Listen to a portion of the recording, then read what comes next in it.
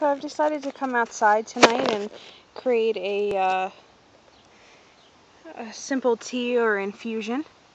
And I don't know if you could see this very well, but kind of zoomed in very closely on some honeysuckle. And honeysuckle is uh, very popular. Um, these happen to be Japanese honeysuckle. And they're popular around this time of year, about mid-June and you'll notice that there's actually several different color flowers. You have one that's sort of this bright white, or sometimes they're called silver flowers. And you'll see one that's kind of like this medium yellow. So here's the bright white, here's the medium yellow, and then here's one that's a brighter yellow. And sometimes people tend to think that these are different plants, but they're really just different stages of of the flower. The brighter, whiter flowers tend to be newer, and you'll see there's this middle one here. They're not quite open yet. And then as the flower develops, they'll become more and more and more yellow, almost turning in some cases, um, we can see up here. Let's get in a little bit closer. Turning almost like an orangey color, and they'll start to dry up. And so you can kind of tell where the flowers are in their stages. And I like to do a mix of sort of this medium yellow in here and the white and maybe a handful per cup. They're fresh flowers. So I'll do about a handful per cup. And honeysuckle, you'll see here, let's get a little closer. Here's a more of a lighter yellow. So they're turning from this white. And you have these really bright stamens. Some of them have green on them. Some of them are, you know, got a lot of pollen. You can see it all over the leaf here. And if we were earlier in the day, the bees would be out here pollinating. We got some wasps doing their thing as well. But um, the way I like to use honeysuckle is for bringing in that joy. There's a lot of fairy medicine. There's a lot of summertime medicine. And really working with this, especially um, as we near the solstice. I guess within the last day or so.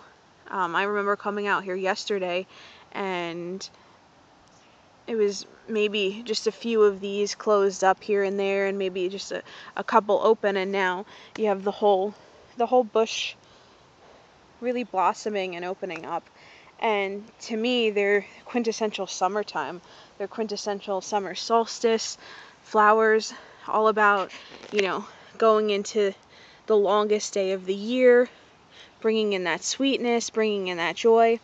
And you can really just get in, get in good. I don't know if you can see that very well.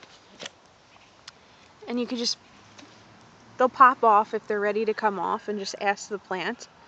Trust your instinct. You don't want to force it too much. But you'll see that there's these kind of green ends to it. And you can actually um, if it doesn't come off by itself, you could just bite it off. And I remember as kids just pulling out the um, the stamens here, and you can kind of get all of this nice juiciness. It almost um, almost looks like honey. There's a sweetness to it. And so that's what I think of. I think of the sweetness of bringing home those childhood memories, of remembering the joys of summer, remembering that we don't have to take things so seriously, that we can really enjoy where we're at in our lives. We can enjoy summer. We don't always have to be working, we don't always have to be rushing. And as a flower medicine, I use both the yellow here, kind of to get back into that power, get back into our center, to bring the sun in, to bring joy into our into our lives and our heart, um, to bring in fun. And then the white is just to oh, and there's a spider, little tiny white spider. But as uh, the white from an energetic and, and color perspective, again bringing in that purity, bringing in um, just that grounding, that very nurturing, and together just using the flowers in, in that way. And for these, I'll probably wind up Um, I still have tincture from last summer, so these I'll probably just either put in a cold infusion and, and just sip that tonight. Oh, look, we've been greeted by a, uh, a bee, a bumblebee doing her, her thing on our last midnight run. And you may be wondering, what is this purple flower she's working on? And that's actually a form of belladonna, which is nightshade. It's uh, it's poisonous, so we don't we definitely don't want to be working with that. Although from a homeopathic standpoint, they do extract some of the compounds from belladonna and use that in homeopathic medicine for migraines. So, but we're not going to touch that. We're just going to worry about the honeysuckle. And I'm going to take these and you can see I got about a handful of them. And I'm going to use that in about a cup to a quart um, pint to a quart depending on what it looks like once it's in the jar. And if you'll remember here's some of the flowers the rose petals. Rose flowers from yesterday are uh, bush blossomed more. And I decided to go out and harvest some more since the cat ate most of the flowers and I'm actually thinking that together of just making an infusion of the silver and, and yellow um, honeysuckle with the rose might be nice.